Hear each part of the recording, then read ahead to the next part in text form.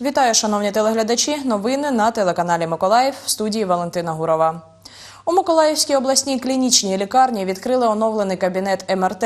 Три роки апарат магнітно-резонансної терапії функціонував менш ніж наполовину потужності. Тепер, після встановлення ще двох котушок, він функціонуватиме згідно своїм виробничим характеристикам. Дотепер, поки не з'явились дві нові котушки, за допомогою цього апарату можна було досліджувати лише суглоби та мозок. Останні три роки він постійно давав збої та практично не функціонував. Ну вот нам купили э, катушки. Ось нам купили котушки змінного магнітного поля, що надасть нам можливість робити дослідження: дослідження хребта, грудного, поперекового, крижового відділу хребта. Також ми можемо дивитись на органи черевної порожнини, органи малого тазу, виявляти патології і допомагати клініцистам у встановленні правильного діагнозу. Выявлять патологии, помогать клиницистам в установке правильного диагноза. Вартість такого апгрейду становить 609 тисяч гривень. Їх виділили із обласного бюджету. В Миколаєві всього три апарати МРТ. Фактично для жителів області це буде безкоштовно за рахунок бюджету обласної лікарні. Ми будемо просто е, не е, всіх бажаючих приймати, а по за показаннями і за направленнями лікарів з районних лікарень, з районів області і наші стаціонарні хворі, яким показано на даний вид обстеження.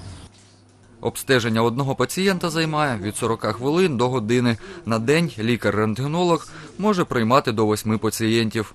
Олександр Гордієнко, Юлія Кускова, телевізійні новини Миколаївщини. Зелений туризм набирає прихильності серед міських жителів. Власник агросадиби розповів журналістам, як йому вдалося створити успішний бізнес у Польщі, популяризуючи, зокрема, українську культуру.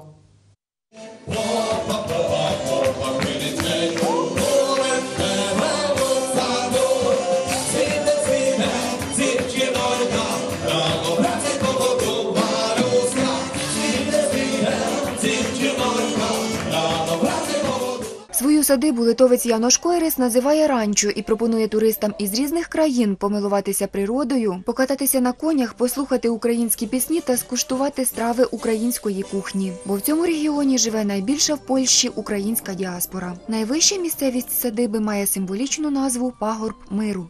No, потому Тому що це добра ідея, щоб люди з різних країн світу тут могли познайомитися і стати друзями. Щодня в будь-яку пору року тут велолюдно. Бо важливо, що гості самі замовляють програму заходів та розваг, а не ми їм пропонуємо.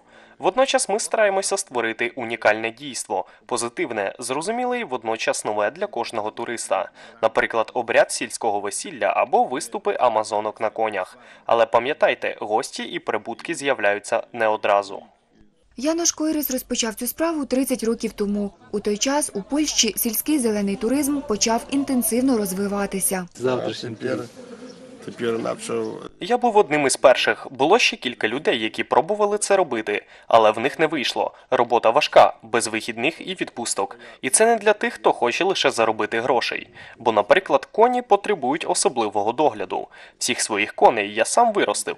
У нас їх 25, і я знаю їхній характер. Знаю, як поводитися з ними так, щоб туристам було безпечно. Окрім того, я ще й музикант.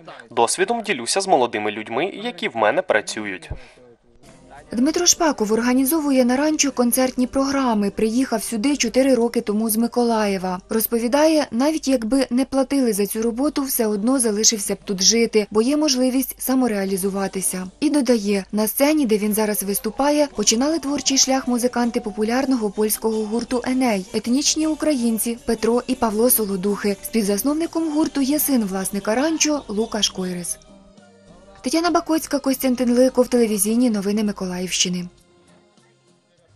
І на цьому ми завершуємо ранковий блок телевізійних новин Миколаївщини. Я прощаюсь з вами до зустрічі о 13.30 на телеканалі Миколаїв.